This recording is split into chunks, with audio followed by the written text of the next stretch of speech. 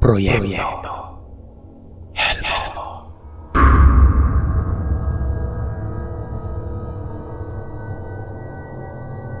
Mapagpalang araw sa inyo, Sir Seth. Ako po si Jonalyn, Tubong Rojas. Napakinggan po namin noon ang kwento nyo tungkol sa isang aswang na pasahero ng Roro. Siyempre, tuwang-tuwa kami kasi nasama yung daanan ng Rojas doon. Kaya naman magmula noon ay nahook na kami sa kwento mo noon. At itong nanay ko ay palagi niyang ikinikwento sa akin ang mga karanasan nila tungkol sa mga aswang. Ang hindi ko makakalimutan dito ay ang isang kilalang aswang sa lugar ng tita niya. Hanggang ngayon, aswang pa rin umano ito doon. Pero noong kapanahunan na nangyari ito, ay bagong yanggaw pa lamang daw yung aswang na yon. Hindi ko na sasabihin kung saan ito pero sabi ni nanay ay malapit lamang din daw ito sa inyo Sir Seth. Base sa pinakinggan naming kwento kung taga saan ka. Baka nga daw kakilala din ng mga kaanak mo dun sa lugar nyo eh. Bale ganito po ang nangyari. Nagtatrabaho noon si nanay sa San Joaquin sa Iloilo. Aabutin din ng oras ang biyahe doon sa bahay papunta sa tita niya. Noong mga panahon na yun ay kapiyastahan sa lugar ng tita ni nanay kaya naman sumama itong si nanay. Marami umanong manliligaw si nanay noon na taga doon malapit sa lugar kaya yung isa dito ay sinabay siya papunta. Naging maayos naman yung kapiyastahan noon. At dahil sa nag-enjoy talaga si nanay ay niyaya ulit ito ng tita niya na sa susunod na linggo nga ay piyesta naman sa Karatig Bayan at pwede siyang bumalik dahil nga may kakilala sila doon. Sa tuwa ni nanay, nagpaalam ito sa pinagtatrabahuhan niya at wala namang naging problema kasi bukod sa pakyawan ang dati niyang trabaho doon, ay kota-kota at kung matapos mo ang kota mo, ikaw na ang bahala sa kung ano ang gagawin mo sa buong linggo. Bisperas ng piyesta, andun na si nanay kaya naman nakagala na kaagad sila ng gabi papunta sa karatig na bayan. Nanood ng mga palabas, nag-ikot-ikot, napakasaya umano Sakay sila ng motor noon. Bali sa isang motor ay ang tita at tito niya. Sa isa ay sila naman ng pinsan niyang babae rin. Bali yung motor pa noon eh yung mga maliliit lamang yung makina. Mga bandang alas 11 nang magdesisyon silang umuwi noon. Magkasunod lamang sila. Nauuna ang tito at tita niya dahil maayos ang headlights ng motor ng mga ito. Hindi tulad ng kanila na medyo mahina na. Ang daan kasi dati talagang minsan may humaharang na baka o kalabaw umano doon.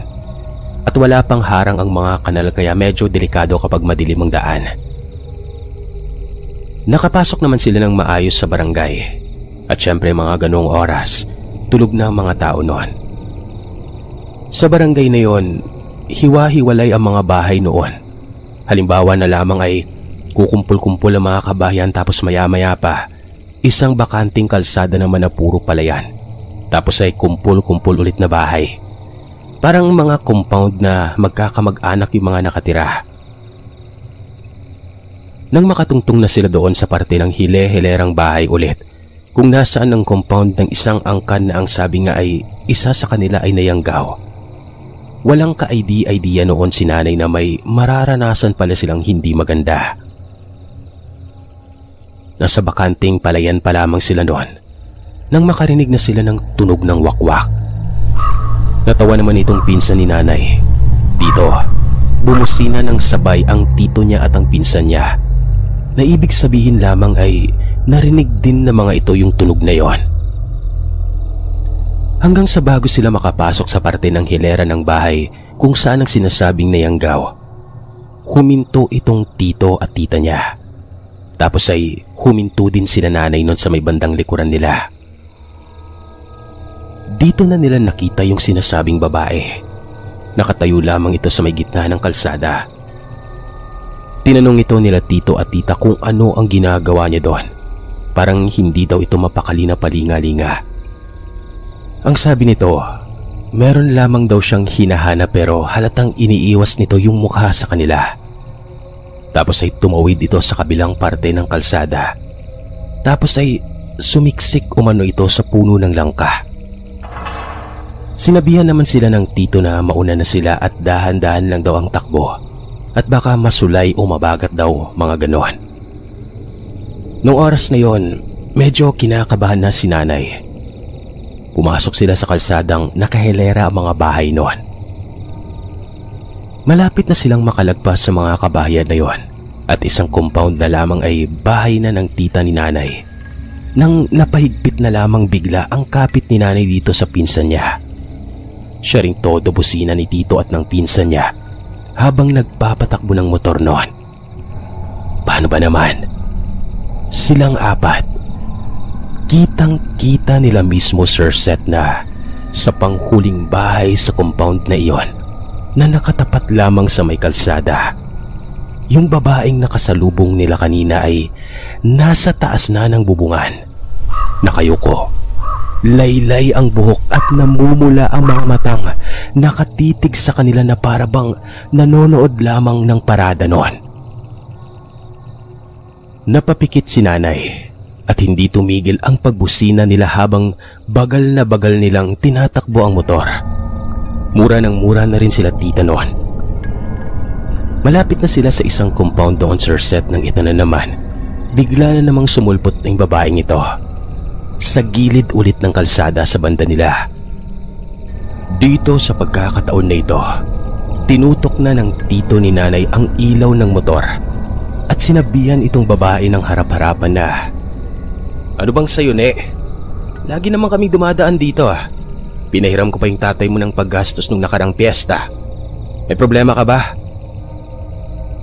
Pulang-pula daw talaga yung mata nun, sir. Natuwid ang titig sa tito ni nanay. Pero nung huli ay inalis din nito ang titig nito at tumawid ulit ng kalsada. Nakarating na silang lahat sa bahay ni tita noon. Sermon pa rin ang sermon si tito at tita. Ramdam pa rin nila na para bang nakasunod ito. May mga tunog sa bubungan at yung aso nila ay kahul ng kahul noon. Nung sumigaw ang tito ni nanay na kung anong gusto ng nilalang ay gawin na niya, pero pupuntahan niya ito bukas na bukas din sa bahay nila. Dito ay bigla na lamang umalog yung bako nila sa gilid ng bahay na parang may yumuyugyug nito at kasabay noon ay ang tunog na naman ng wakwak bago ito tuluyang nawala. Sumunod na araw, maaga pang pumunta si tito sa compound ng bagong yanggaw na yon. Harap-harapang sinabi sa tatay ng babae yung nangyari noong nakaraang gabi.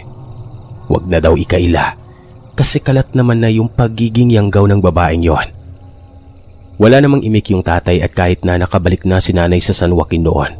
Ang balita niya, ikinulong umano yung babae at itinali pa kapag sinusumpong ito ng pagiging aswang. Pero hanggang sa ngayon nga, ay namumuhay pa rin ito bilang aswang. Doon, sa lugar